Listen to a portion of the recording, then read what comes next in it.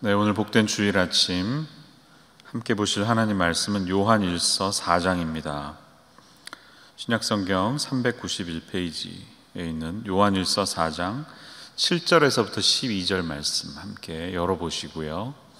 제가 하나님 말씀 받들어 읽도록 하겠습니다. 요한 1서 4장 7절입니다. 사랑하는 자들아 우리가 서로 사랑하자 사랑은 하나님께 속한 것이니 사랑하는 자마다 하나님으로부터 나서 하나님을 알고 사랑하지 아니하는 자는 하나님을 알지 못하나니 이는 하나님은 사랑이심이라. 하나님의 사랑이 우리에게 이렇게 나타난 바 되었으니 하나님이 자기의 독생자를 세상에 보내심은 그로 말미암아 우리를 살리려 하심이라. 사랑은 여기 있으니 우리가 하나님을 사랑한 것이 아니요 하나님이 우리를 사랑하사 우리 죄를 속하기 위하여 화목제물로 그 아들을 보내셨습니다. 사랑하는 자들아 하나님이 이같이 우리를 사랑하셨은즉 우리도 서로 사랑하는 것이 마땅하도다. 어느 때나 하나님을 본 사람이 없으되 만일 우리가 서로 사랑하면 하나님이 우리 안에 거하시고 그의 사랑이 우리 안에 온전히 이루어지느니라. 아멘. 오늘은 그가 이 땅에 오신 이유라는 제목으로 함께 은혜의 말씀 나누도록 하겠습니다. 여러분, 사랑만큼 가장 흔하고 풍부한 그런 주제가 이 세상에 없죠. 네. 시중에 뭐 존재하는 대중가요의 90%의 이상은 주제가 다 사랑에 관한 것입니다. 여러분 동의하실 거예요. 뭐 지금 당장 사랑에 관한 가요 제목을 꼽으라고 해도 뭐 한 사람당 적어도 뭐 50가지 이상은 아마 낼 수가 있을 겁니다. 음악, 연극, 영화, 뭐 책, 잡지 이 모든 곳에 이 세상에는 사랑에 대한 이야기로 가득 채워져 있습니다. 제가 지금 이 설교를 하는 이 시간도 분명히 누군가는 사랑에 관한 글을 쓰고 있거나 음악을 짓고 있거나 미술을 그리거나 영화를 만들고 있을 겁니다.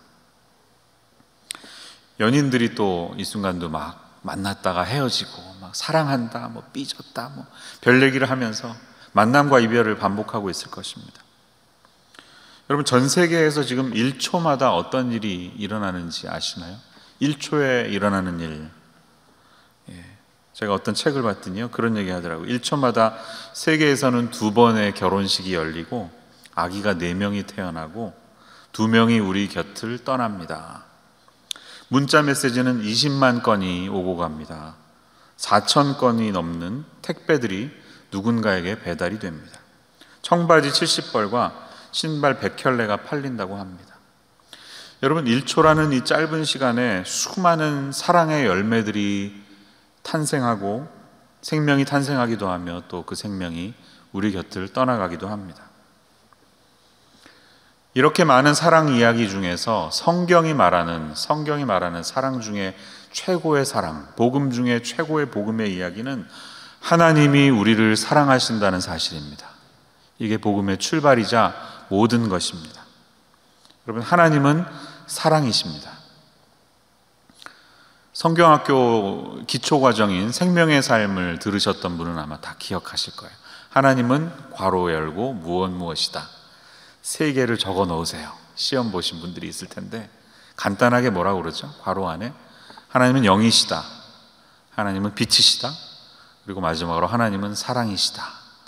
이렇게 세 단어로 요약이 됐습니다. 하나님은 영이시고 빛이시고 사랑이십니다. 근데 빛이시고 사랑이신 하나님 이야기가 다 여기 요한 1서에 등장합니다. 영이신 하나님은 요한 복음에 등장하죠. 여러분, 이 하나님이 이렇게 요약될 수 있다는 사실에 동의하시나요? 네. 사람들은 사랑에 대해서 뭐라고 뭐 자기 나름들의 나름의 썰을 풀어대면서 무엇이라고 말하든 성경에 따르면 진정한 사람은 하나님, 진정한 사랑은 하나님께 속한 것입니다. 진정한 사랑은 하나님으로부터 온 것입니다. 오늘 말씀의 7절이 그 이야기를 하고 있어요. 사랑은 하나님께 속한 것이니 7절. 근원이 어디냐는 거죠. 우리가 말하는 진정한 사랑의 근원은 하나님으로부터 온다 이렇게 말하고 있습니다. 사랑의 본질이 하나님이시다 이렇게 말하고 있습니다. 그러므로 결국 하나님은 사랑이다 이렇게 본문은 우리에게 말하고 있는 것입니다. 성경에서 말하는 이 사랑, 하나님의 사랑은 여러분 잘 아시듯이 아가페의 사랑입니다. 아가페. 네. 많이 들어보셨죠? 에로스, 필레오, 아가페의 사랑이 있는데 사실 성경에는 필레오와 아가페 사랑만 등장합니다. 에로스라는 단어는 성경의 헬라어에는 적어도 나오지 않습니다. 그런데 오늘 읽은 본문에 나오는 사랑에 관한 모든 명사나 동사는 전부 다 아가파오, 아가페 이 단어가 쓰여져 있습니다. 여러분 이 아가페 사랑의 본질이 무엇일까요? 아가페는 무엇을 말할까요? 아가페의 사랑은 사람에게서 온 것이 아닙니다. 아가페의 사랑은 하나님으로부터 오는 사랑을 말합니다. 그 사랑은 조건이 없는 사랑입니다. 무엇에 대한 반응으로 나타나는 사랑이 아닙니다. give and take. 우리가 누군가를 사랑하는 것은 그가 나를 사랑해 줬든지 나에게 무엇을 주었기 때문에 우리도 그에 대한 응답으로 할 경우가 대부분이죠. 그런데 아가페 사랑에는 조건이 없다는 것입니다. 이 아가페 사랑을 닮은 인간에게서 볼 수 있는 가장 가까운 성품이 바로 부모로부터 나오는 자식 사랑이라고 할 수가 있겠습니다. 그런데 이것도 엄밀히 본다면 하나님의 형상을 닮은 인간이기 때문에 우리에게서 하나님의 성품이 묻어나오기 때문에 나타나는 것이라는 것입니다. 이 아가페 하나님의 사랑은 성경의 여러 모습을 통해 우리가 발견할 수 있는데요. 먼저 첫째는 하나님의 창조하시는 모습을 통해 우리는 하나님의 사랑을 발견할 수가 있습니다. 여러분, 하나님이 지으신 이 온 세상은 그분의 사랑이 집약적으로 요약된 하나님의 작품이죠. 이 세상은 하나님의 작품입니다. 그런데 그 창조의 중심에 사람이 있었다는 사실을 주목하시기 바랍니다. 창세기 1장을 보면 여째, 여섯째 날까지 창조를 하시는데 매일매일 창조 사건을 마치면서 보시기에 좋았더라. 이렇게 끝납니다. 저녁이 되고 아침이 되니 이는 첫째 날이다. 이런 식으로 계속됩니다. 그런데 마지막 날 여섯째 날 동불과 사람을 마지막으로 창조하신 다음에 보시기에 심히 좋았더라. 이렇게 기록되어 있습니다. 심히 좋았던 아마 사람 사람을 창조하시기 때문이 아니었을까요? 그 코에 생기를 불어 넣으시고 우리의 형상을 따라 하나님의 형상을 따라 만든 그 사람을 보셨을 때 하나님은 심히 좋아하셨습니다. 이 창조의 중심에는 사람이 있었습니다. 아담이라고 하는 이름은 원래 사람이라는 뜻입니다. 그러므로 우리는 이 하나님의 창조 속에서 우리를 향하신 하나님의 사랑이 무엇인지를 곱씹어 볼 수 있게 됩니다. 두 번째 사실은 우리에게 있는 이 자유의지가 있는 것을 통해 우리는 하나님의 사랑을 발견할 수가 있습니다. 하나님이 우리 인간에게 자유의지를 주셨죠. 굉장히 리스키한 것이었습니다. 그렇죠. 왜냐하면 선악을 알게 하는 나무의 열매를 따먹을 수도 있었고 따먹지 않을 수도 있었습니다. 그런데 하나님은 우리는 프로그래밍을 해놓고 우리가 그 선악과 근처에 가면 5미터 전에 막 경보 신호가 울리도록 그렇게 우리를 짓지 않으셨습니다. 왜? 우리에게 자유의지를 주기를 원하셨어요.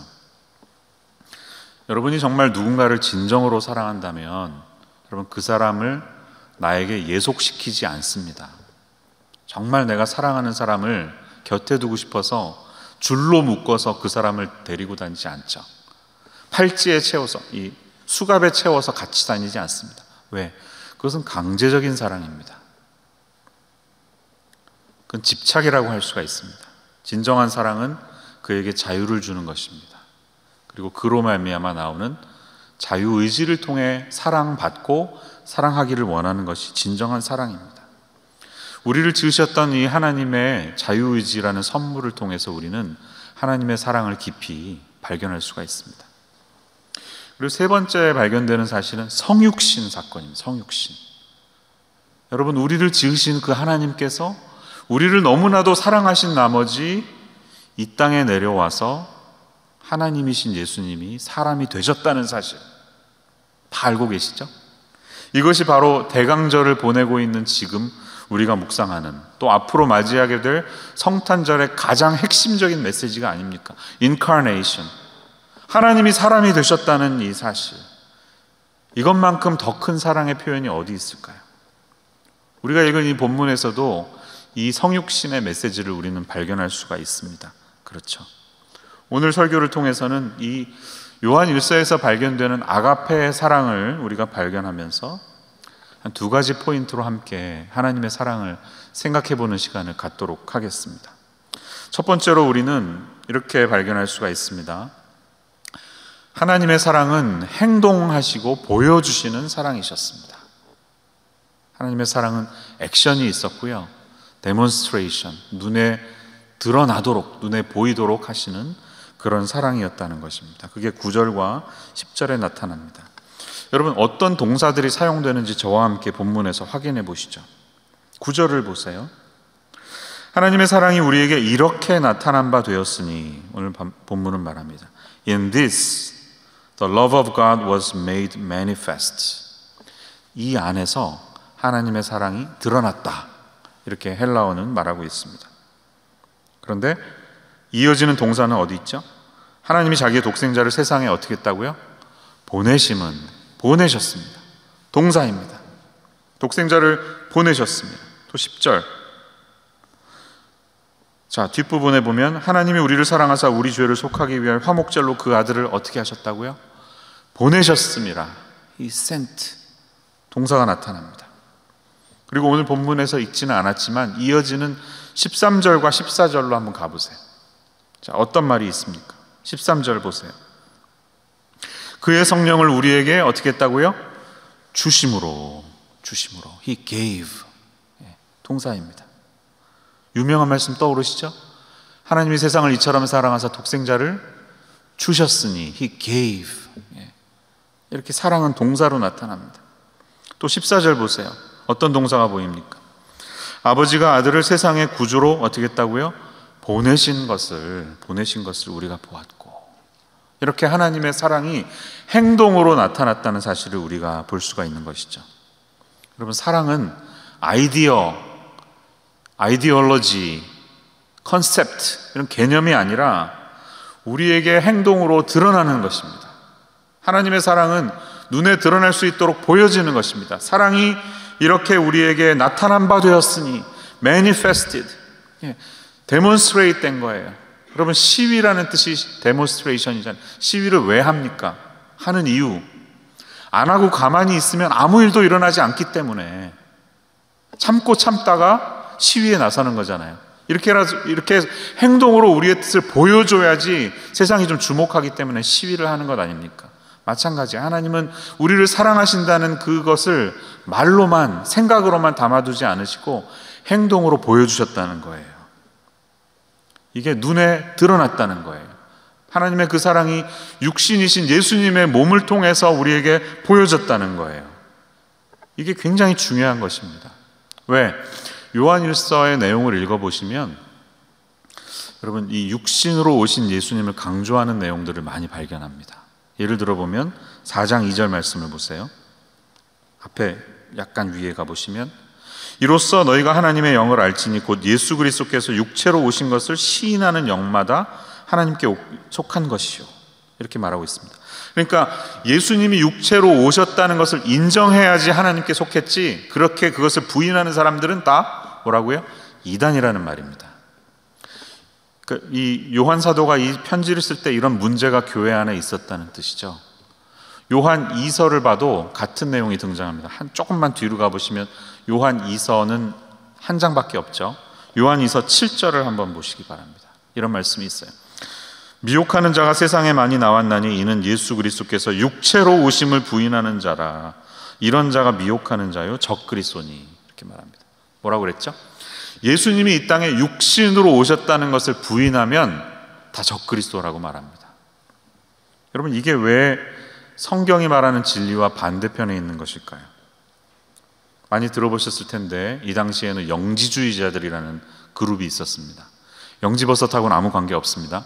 영지주의자들은 여러분 영계에서 보낸 어떤 중재자가 있다는 거예요. 그 중재자가 알려주는 신비로운 지식, 영적인 지식을 깨달은 사람만이 하나님의 뜻을 알 수 있고 구원을 받을 수 있다. 이렇게 믿었습니다.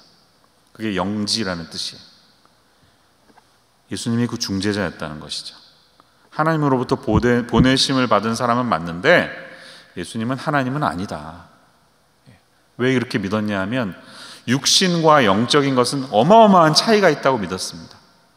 그래서 영과 육은 함께 만날 수 없어요. 육신은 한없이 낮은 것이고 영적인 세계만이 위대한 것이기 때문에 그 하나님의 뜻을 담은 사도가 육신의 모습으로 임할 수 없다고 믿은 겁니다. 그런데 이런 사람들은 이단이라는 것이죠. 잘못됐다는 겁니다. 이 초대교회 이단 중에 가현주의자들이 있었습니다. 도세티즘이라는 말 들어보셨죠? 도세티즘. 이 도케인이라는 말인데 도케인은 어, to seem 이런 뜻입니다. to seem 그렇게 보이는 것. 그러니까 예수님이 이 땅에서 계시긴 계셨는데 육신의 모습으로 계셨던 게 아니라 그냥 사람인 것처럼 보였다는 거예요. 근데 원래는 사람이 아니라는 거예요. 하나님이셨고 영이었다는 겁니다. 이게 굉장히 잘못됐음을 지금 사도 요한은 아주 강력하게 어필하고 있는 것입니다. 이해가 되시죠? 이런 생각으로 가득 차 있으면 영적으로, 영적으로 생각하는 것은 위대하지만 육적인 것들은 한없이 낮은 것이기에 우리가 굉장히 천부시할 수 있습니다. 천박하게 다룰 수 있습니다. 그래서 either 아주 육신을 맘대로 하는 쾌락주의로 가든지 아니면 지나친 금욕주의로 갈 수밖에 없습니다. 근데 그것은 다 잘못됐다는 거예요. 성경이 말하는 진리는 뭐예요? 영과 육은 다 중요하고 함께 연결되어 있고 하나님이 육신의 모습을 입고 이 땅에 오셨다는 것입니다. 그리고 육신의 모습으로 사랑을 보여주셨다는 것이고 그것이 십자가에서 나타났다는 것입니다. 그러면 이게 중요합니다. 그러니까 눈에 보이신 하나님, 우리가 만질 수 있도록 나타내 주신 하나님의 사랑은 이토록 중요하다는 것을 사도 요한은 강조하고 있는 것입니다. 자, 사랑이 행동이고 동사라는 것이 이제 이해가 되시죠. 유명한 책 중에 그 게리 체프맨이라고 하는 분이 쓴 다섯 가지 사랑의 언어라는 책이 있어요. The Five Love Language. 여러분 읽어보지 않으신 분들은 한번 꼭 읽어보시기 바랍니다. 우리 한 10권, 읽어야 할 10권 중에 하나 들어가는 책이라고 생각합니다.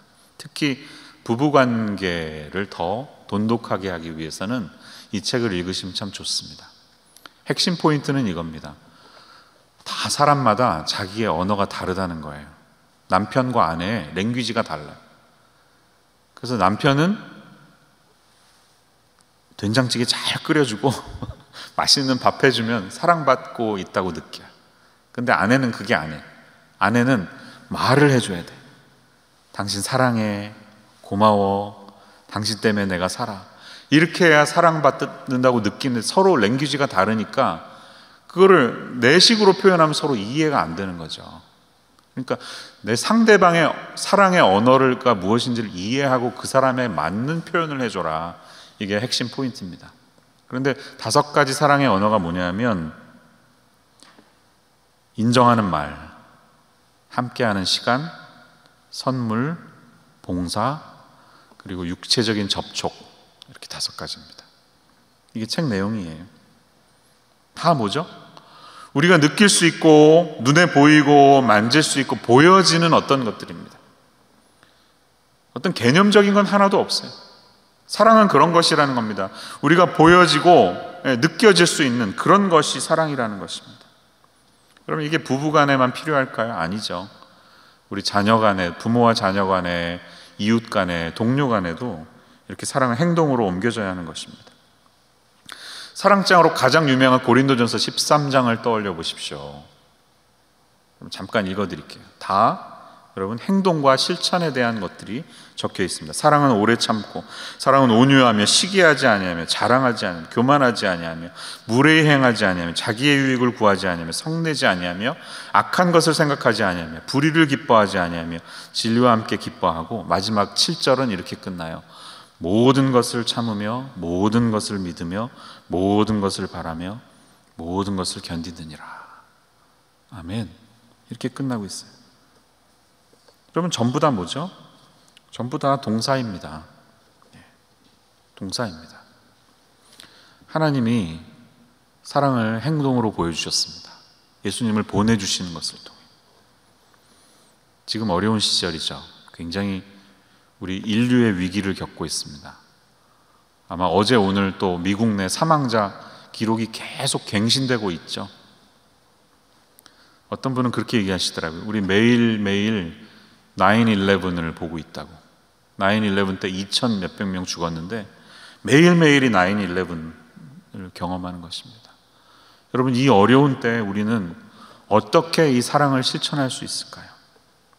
어떻게 우리는 행동으로 옮길 수 있을까요? 제가 몇 주 전에 설교하면서 그런 얘기 했습니다. 이도저도 안 되시면 피라도 뽑으시라고. 잠깐 그렇게 얘기했지만 여러분 그 말은 진심입니다. 헌혈이야말로 가장 소중하고 가장 아름다운 사랑의 행동이라고 생각합니다. 왜 그럴까요? 헌혈만큼은 돈으로 할 수 있는 게 아닙니다. 이 피는요, 어떤 기계로 만들어낼 수 있는 게 아닙니다. 오직 인간의 몸에서만 나올 수 있는 게 피입니다. 돈을 아무리 많이 줘도 피를 어디서 사람의 피를 살 수가 없습니다. 피는 생명에 상징하는 것이고 인간이 만들어낼 수 없는 하나님의 창작품이라는 것이죠. 모조품이 없습니다. 피가 모자라면 구할 수 있는 방법은 하나밖에 없죠. 다른 사람의 헌혈을 통해서만 가능합니다. 여러분 이것이야말로 사람이 사람에게 피를 공급해 주는 것, 헌혈이야말로 우리 그리스도인들이 보여줄 수 있는 가장 아름다운 사랑이 아닐까. 예수님의 십자가의 사랑을 떠올리면서 표현할 수 있는 가장 아름다운 사랑이 아닐까. 돈으로도 할 수 없는 것. 저는 그렇게 생각했습니다. 서기 251년 말에 전염병이 로마 전체를 덮쳤습니다. 당시 데시우스 황제의 박해 때문에 수많은 그리스도인들이 죽어나가고 있었습니다. 이교도들의 박해는 굉장히 잔인했습니다. 그런데 이 전염병은 종교의 차별을 두지 않고 그리스도인이나 비그리스도인 할 것 없이 모두를 다 죽여버렸습니다. 시체가 로마 전체에 막나 뒹굴었습니다. 돈이 많은 부유한 이 교도들은 다 달아나고 말았고요. 남아있는 사람들은 서로를 향한 경계의식을 풀지 못했습니다. 죽음의 그림자가 온 세상을 뒤덮었습니다. 그렇게 죽음의 공포 속에 떨고 있었던 모든 사람들에게 특별히 그리스도인들에게 당시 교부였던 키프리안이 메시지를 외쳤습니다. 우리가 단지 우리들 스스로만을 소중하게 여기고 우리 그리스도인들끼리만 자비를 베푼다면 그것은 결코 놀라운 일이 아니다. 하나님께서 우리에게 관용을 베푸신 것 같이 우리도 관용을 베풀자. 우리의 원수도 사랑하자. 이런 그의 설교는 울림이 컸고 많은 사람들이 거기에 반응했습니다. 그들도 두려움이 없었던 것은 아닙니다. 그러나 두려움보다 더 큰 것은 사랑의 실천이었습니다. 이들이 감염의 위협을 무릅쓰고 시신들을 거두고 병든 사람들을 품어주고 노약자들을 돌보고 주머니를 털어서 자신의 집을 오픈했습니다. 이런 그리스도인들을 향해 당시의 이교도들을 포함한 모든 사람들은 이들에게 파라볼라노이라는 이름을 붙여줬습니다. 위험을 무릅쓰는 자들이라는 뜻이죠. 제가 지난 5월 달인가 한번 설교했어요. 이 파라볼라 노이 때문에 수많은 사람들이 목숨을 건졌습니다. 두 번째로 우리가 오늘 본문을 통해 볼 수 있는 하나님의 하나님의 아가페 사랑은 이런 부분입니다. 11절과 12절의 내용인데요. 그것은 하나님의 사랑은 우리가 서로 사랑할 때 온전히 이루어진다는 말입니다. 우리가 서로 사랑할 때 온전하게 됩니다. 오늘 본문의 11절로 가보시기 바랍니다. 사랑하는 자들아 하나님이 이같이 우리를 사랑하셨음즉 우리도 서로 사랑하는 것이 마땅하도다 이렇게 말합니다. 하나님이 예수님을 화목제물로 우리에게 보여주셨던 것처럼 우리도 거기에 대해서 반응해서 우리가 서로 사랑하는 것이 마땅하다 이렇게 말하는 것입니다. 어떻게 실천해야 된다고요? 하나님은 영이시기 때문에 보이지 않습니다. 하나님을 볼 수 있는 사람은 아무도 없습니다. 그러나 만일 우리가 서로 사랑하면 하나님이 우리의 아, 우리 안에 거하시고 He abides in us. 그의 사랑이 우리 안에 온전히 이루어지느니라 이렇게 말합니다. And His love is perfected in us 이렇게 말합니다. 여기서 이제 테텔레오메네라는 단어가 쓰였는데요. complete 혹은 be perfect 이런 뜻입니다. 예수님이 십자가에 달려 돌아가셨을 때 테텔레스타이 하셨다는 말 다 알고 계시죠? 어원이 같습니다. 다 이루어진 것입니다. 완성되는 것입니다. 여러분 이 말이 이해가 되십니까? 하나님은 영이시기 때문에 보이시지 않는데 그의 사랑은 가만히 있어서는 안 되고 우리가 사랑하면 그때 비로소 하나님이 우리 안에 거하시고 그 사랑이 완전하게 완성된다는 거예요. 우리가 사랑할 때 하나님의 이 사랑이 완성된다는 것입니다. 자, 예를 들어 볼게요. 이해가 안 되시니까. 손과 손이 이렇게 만날 때 박수 소리가 나지 않습니까? 손이 이렇게 온단 말이에요. 내가 가만히 안 있고 손을 같이 이렇게 부딪힐 때 소리가 난다는 거예요. 나를 향해 다가오던 그 손이 한 번도 그게 나를 향해 다가오고 있었다는 사실을 몰랐거나 예. 아니면 한 번도 이 마주오는 오는 손을 향해 나의 손을 내밀어 본 적이 없었으면 한 번도 이 소리를 들을 수가 없죠. 절대로 들을 수가 없죠. 이 하나님의 사랑이 소리가 날 때는 이 두 손이 맞부딪힐 때 그때 소리가 비로소 난다는 겁니다. 이해가 되시죠, 이제? 하나님의 사랑은 우리의 우리가 그 안에서 반응하고 서로를 사랑하는 모습이 나타날 때 비로소 이 세상이 하나님이 살아계시구나. 하나님이 우리 안에 계시는구나 하는 것을 느끼고 경험할 수가 있다는 말이에요. 자, 이 말을 하면서 사도 요한이 넌지시 우리에게 하고 싶어 하는 말이 있습니다. 다시 앞부분으로 돌아가 보세요. 8절로 가 보시면 이렇게 말합니다. 사랑하지 아니하는 자는 하나님을 알지 못하나니 이는 하나님은 사랑이심이라 이렇게 말합니다. 여러분 사랑하지 않으면 하나님을 모른다는 겁니다.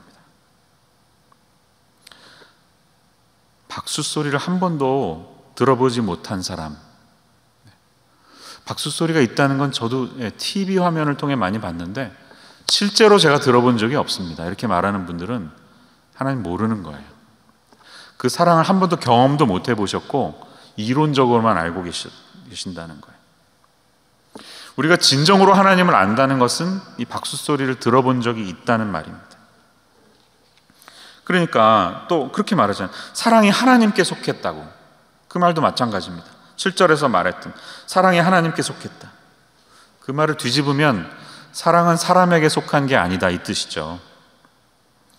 사랑하는 자마다 하나님으로부터 난 것이다 라는 이 말은 여러분 우리가 하나님을 만나지 못했다면 아무리 죽었다 깨어나도 사랑이 무엇인지를 절대로 알지 못한다는 뜻이죠. 그럼 세상 사람들이 얼마나 많이 사랑을 외칩니까? 너도 나도 사랑이 최고라고 기독교의 핵심은 사랑이라고 말하지만 이 많은 사람들은 사실은 모조품 사랑을 들고 다닙니다. 가짜 사랑 때문에 지금도 밤마다 울고 연인들은 헤어지고 목놓아 울입니다. 여러분 생각해 보십시오. 내가 누군가를 정말 사랑하고 있었다고 그렇게 우리는 많이 믿었죠. 부모님을 사랑하고 자녀를 사랑하고 연인끼리 사랑한다고 우리는 믿고 있었습니다. 그런데 우리 집안에 아무 문제가 없을 때는 다 어그리합니다. 다 it's fine. 문제가 없어요. 그런데 우리의 그런 사랑은 다 조건적인 사랑이었습니다.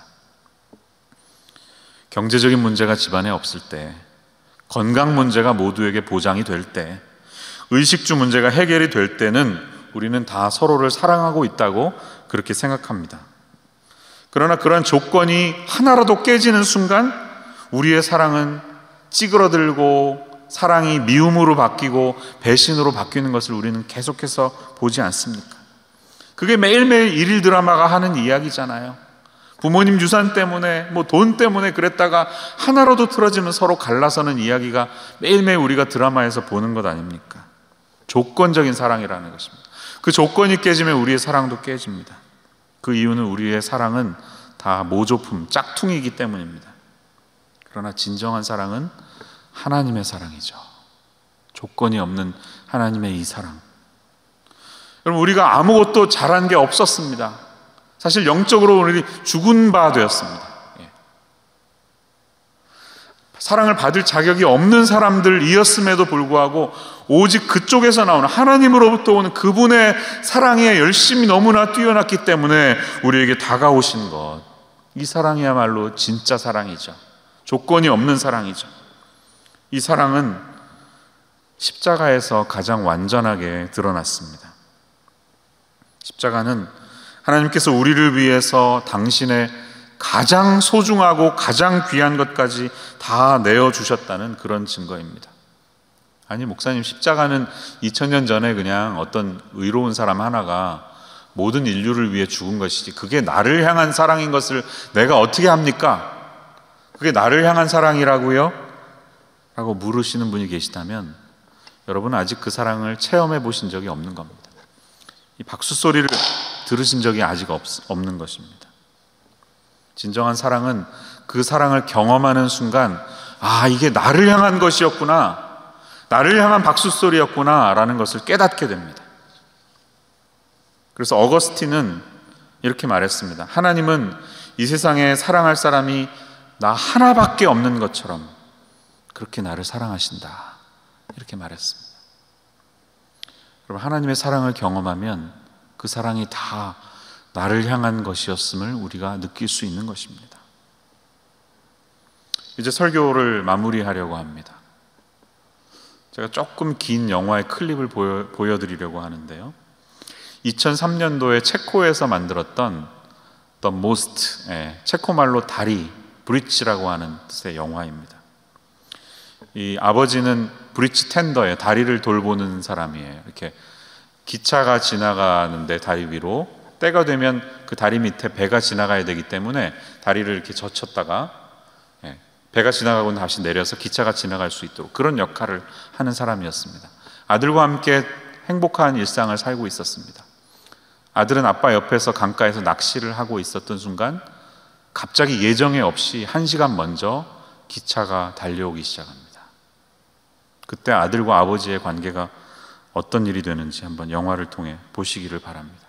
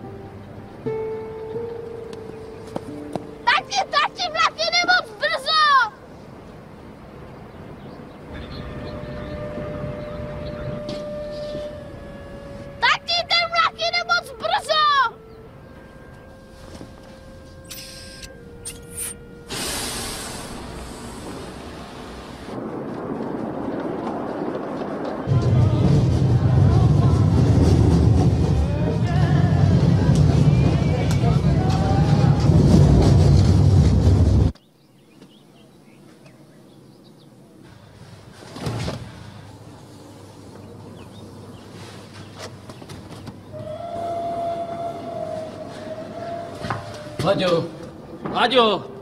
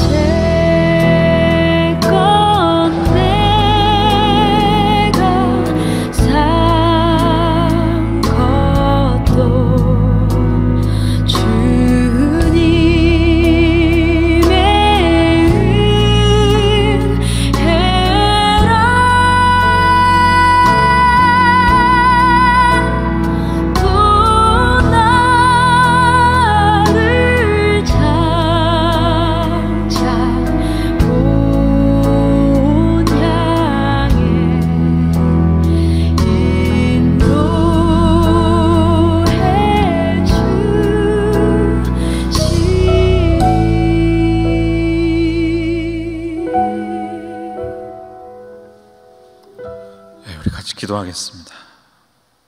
하나님, 세상은 지금도 하나님이 우리를 향해 이토록 사랑하셨다는 사실을 알지 못한 채 기차 안에 있는 승객들처럼 그렇게 평범하고 행복한 일상들을 살아갑니다. 그러나 하나님 주님의 그 희생의 사랑이 아니었다면 어떻게 우리가 기차를 달려갈 수가 있었을까요? 성탄절의 계절에 우리를 향해 하나님의 사랑을 이렇게 눈에 보일 수 있도록 드러내시고 나타내신 주님의 사랑을 다시 한번 감사하며 세상을 향하여 우리들도 이 사랑을 드러내고 파라볼라 너희로 살아갈 수 있는 믿음의 사람으로 살아가게 하여 주옵소서.